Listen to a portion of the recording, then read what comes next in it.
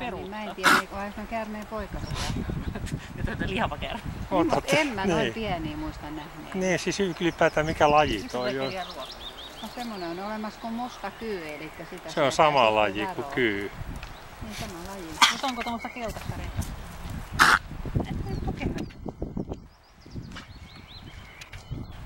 Mitä on tämmöiset käärmeet, joilla on keltainen kaulus?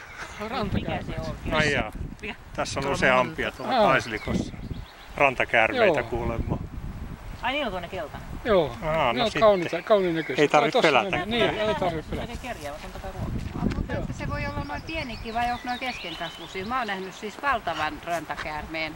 No voi, mutta aika iso tuotu. Oli tuolla Onko isompiakin. semmoinen, että se kasvaa koko ikänsä?